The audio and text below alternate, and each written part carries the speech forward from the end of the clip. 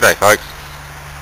Basically the cleanest, easiest way to open up a small compressor is to take a ultra thin cut-off wheel, good quality grinder, very sturdy mount.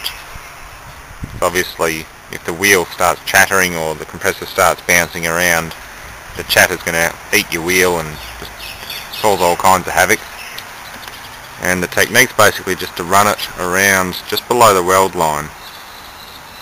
You don't cut all the way through though or you'll contaminate the insides with particles of abrasive and metal. But if you cut roughly to the thickness of the welded metal on the outside, you can prise the top off afterwards.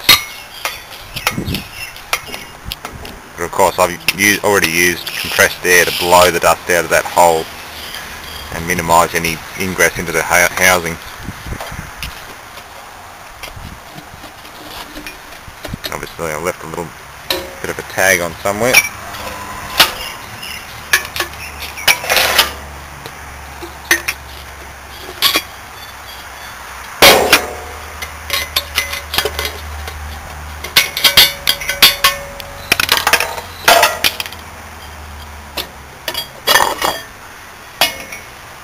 See that little lip there? There's two thicknesses. And there's no contamination inside this housing. They're nice and clean and ready to run. I've left the oil in there as well. And I'll demonstrate just how this one works along with another test that one of my friends wants possibly how to run one of these as a high start torque compressor. Uh, these will not start up under load of back pressure like if you've got 100 pounds in your discharge line this motor will not have enough power to start that piston up again. So we've got to look at that plus a few other little things and that's basically it.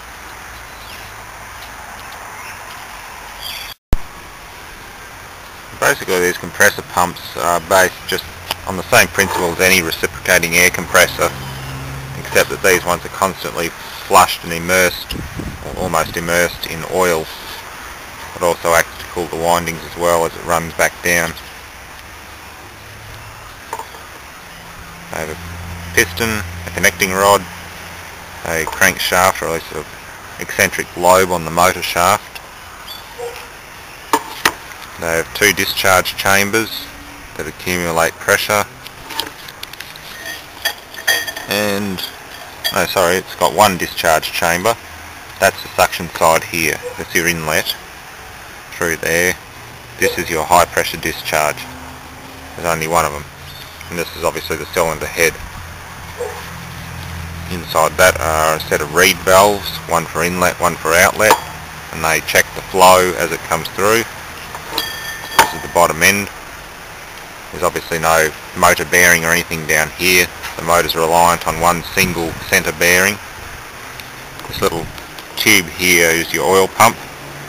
Oil floats up inside there and as the motor's running, centrifugal force and a little spiral baffle inside drive the oil up inside the motor spindle and out through the top through the motor bearing and the crankshaft bearing. You can see a couple of little holes here for the spraying.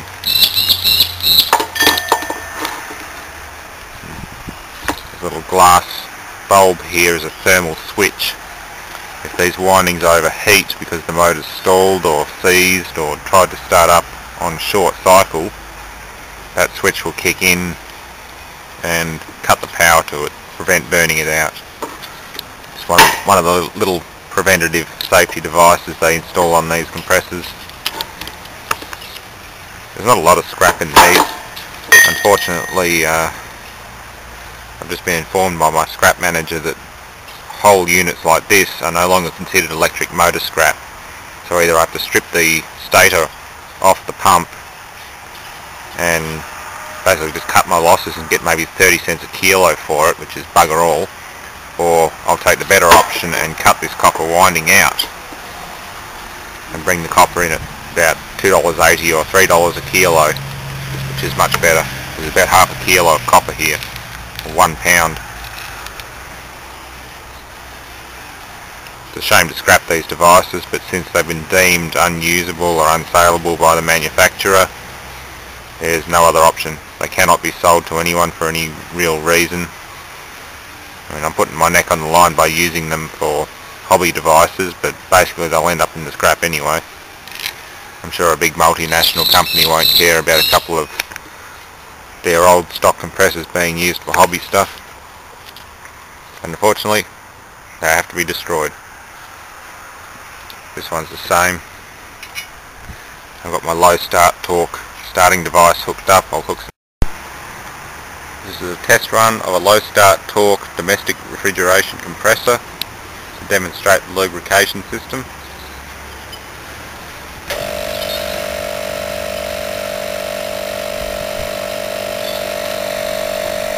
Going everywhere.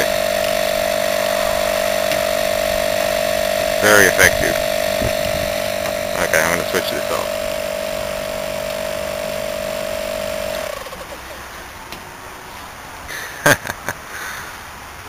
that is just everywhere.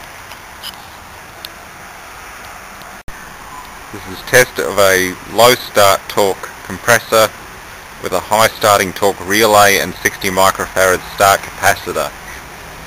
This may or may not work, I haven't done it yet, but let's give it a shot. Hey, it does work.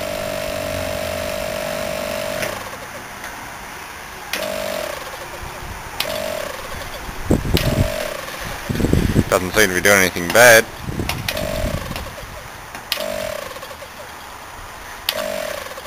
Okay. I guess you can use these as high start torque compressors. A bit of food for thought.